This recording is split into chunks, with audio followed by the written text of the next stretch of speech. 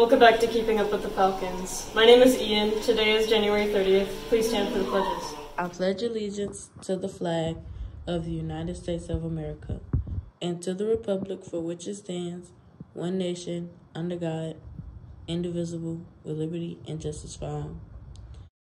Now for the Texas Pledge. Honor the Texas flag. I pledge allegiance to the Texas, one state, under God, one and indivisible. Please remain standing for the moment of silence. You may be seated. Here's the weather for this week.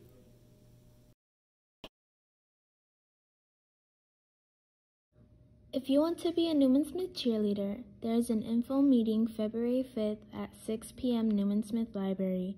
A tryout packet due February 15th at 4 p.m. Newman Smith front office. A tryout clinic February 27th through March 1st at 4:30 p.m. Newman Smith Gym and tryouts March 2nd at 8:30 a.m. Newman Smith Gym.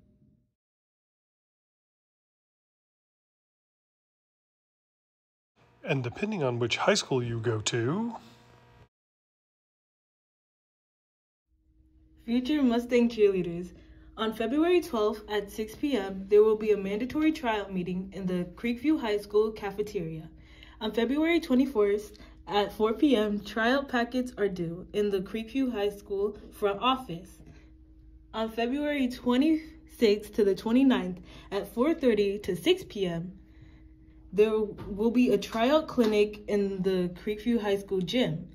On March 2nd at 7:30 a.m., there will be tryouts in the Newman Smith High School gym. Motto here at Dana Long is attendance, academics, and attitude. Every child, every day, whatever it takes, and it's always a great day to be Falcon.